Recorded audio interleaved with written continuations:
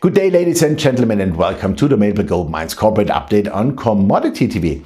After the successful completion of last year's drilling program, drilling started again in mid-January. With two drill rigs, the search for gold continued at the company's Douay Gold project in Quebec. The drill teams will first complete drill holes DO21314 and DO319 in the Nika and 531 zones respectively. Subsequently, one of the two available drill rigs will be mobilized to commence a planned 4000 to 5000 meter phase 1 drill program on the company's 100% controlled Eagle mine property.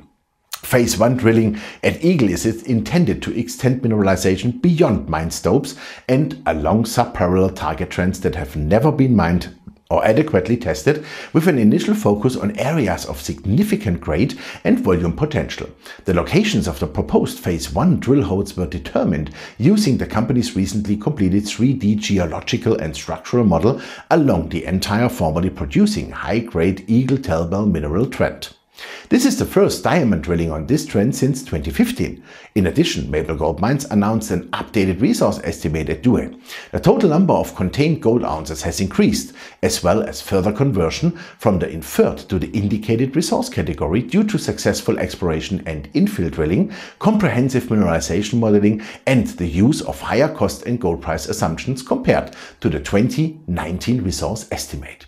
More specifically, indicated resources increased 21% to 511,000 ounces gold and inferred resources increased 7% to 2.525 million ounces gold.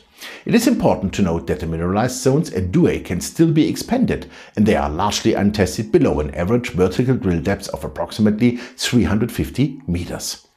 Ongoing drilling at Douay is primarily focused on exploration targets in areas with potential for lateral and deep extension that are not part of this resource estimate.